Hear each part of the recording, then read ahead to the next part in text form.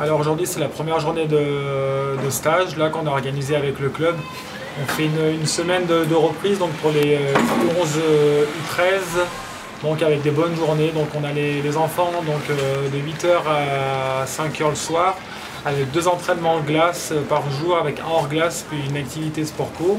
On mange ensemble aussi à midi donc je pense que c'est une bonne reprise, une bonne façon de reprendre la saison avec une bonne cohésion d'équipe. Et pour le moment, c'était une bonne journée. Tout le monde a bien bossé, donc, euh, on, va voir pour demain.